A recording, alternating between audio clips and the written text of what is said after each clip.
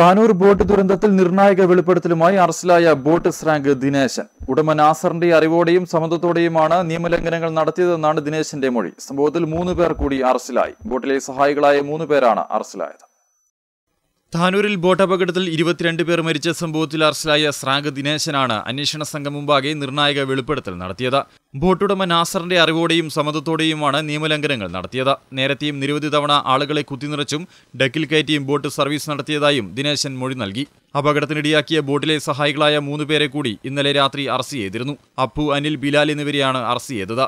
റിമാൻഡിലുള്ള ബോട്ടുടമ നാസറിനെ custody ലഭിക്കാൻ police ഇന്ന് അപേക്ഷ നൽകും. മത്സ്യബന്ധന ബോട്ട് രൂപമാറ്റം വരുത്തി സർവീസ് നടത്താൻ ഉദ്യോഗസ്ഥരിൽ നിന്ന് ലഭിച്ച സഹായങ്ങളെക്കുറിച്ചറിയാൻ നാസറിനെ കൂടുതൽ ചോദ്യം ചെയ്യും. ഇതിനാണ് കസ്റ്റഡി ആവശ്യപ്പെടുന്നത്. അറസ്റ്റിലായ ബോട്ട് സ്രാങ്ക് ദിനേശനെ കോടതി റിമാൻഡ് ചെയ്തു. ബോട്ട് ദുരന്തത്തിനിടയാക്കിയത് ആളുകളെ അശാസ്ത്രീയമായി കുത്തിനിറച്ചതാണെന്ന റിമാൻഡ് റിപ്പോർട്ട് കഴിഞ്ഞ ദിവസം പുറത്തു വന്നിരുന്നു.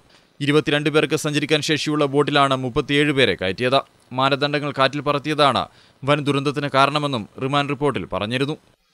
News desk Kannur